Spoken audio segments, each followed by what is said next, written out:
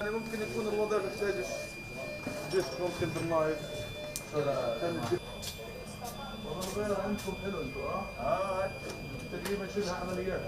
الوقود المتبقي في المولدات في مجمع الشفاء الطبي لا تكاد تكفي إلى ثلاث إلى أربعة أيام على أكبر تقدير. الآن نعمل في الأقسام الحساسة أقسام غسيل الكلى الحضانات محطات توليد الأكسجين العناية المركزة أقسام العمليات وما دون ذلك أخرجناهم من الطاقة.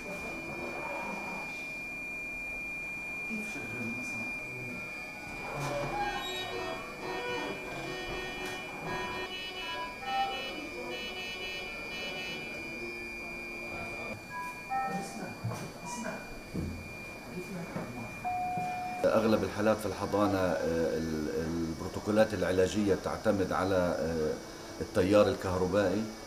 وطبعا آه، لأنه أغلبهم بيعتمدوا على التنفس الصناعي. وفي حال انقطاع التيار الكهربائي ستحصل كارثة خلال خمس دقائق. وجميع الحالات المشبوكه على التنفس الصناعي ستتوفى حتميا بسبب انقطاع التيار الكهربائي.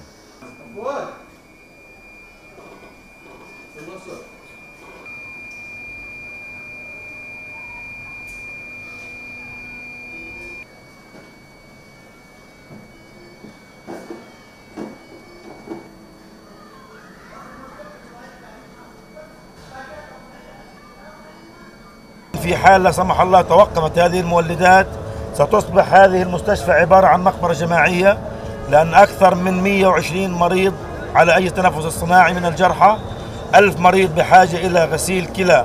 لا نستطيع تقديم لهم بدون كهرباء. 50 طفل من في الحضانات وأقسام الخدج على العناية المركزة. محطات توليد الأكسجين لا يمكن أن تعمل فبنحكم على ألف مريض في هذا المستشفى بالموت المحقق.